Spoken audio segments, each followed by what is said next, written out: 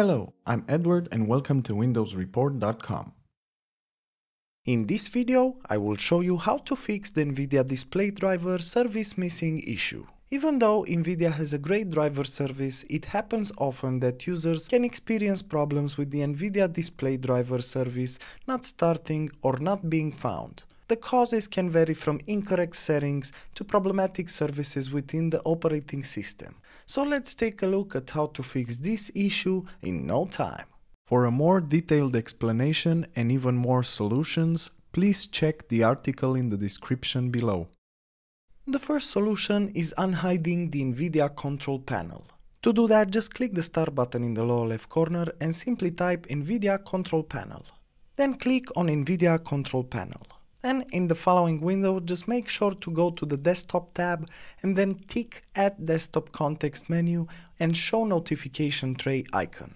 Finally, just make sure to close the NVIDIA control panel and see if it appears in the menu. Another useful solution is restarting the NVIDIA services. To do that, just click the start button in the lower left corner and simply type services. Then click on the services app.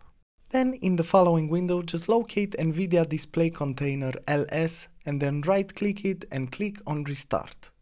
You can follow the same steps for each of the services that start with NVIDIA. And another great solution is using Device Manager. To do that, just click the start button in the lower left corner and simply type Device Manager. Then click on Device Manager.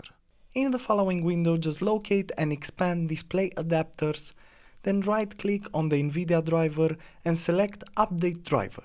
Then click on Search automatically for drivers. Install the found drivers and allow for the process to finish. Then make sure to restart your device at the end.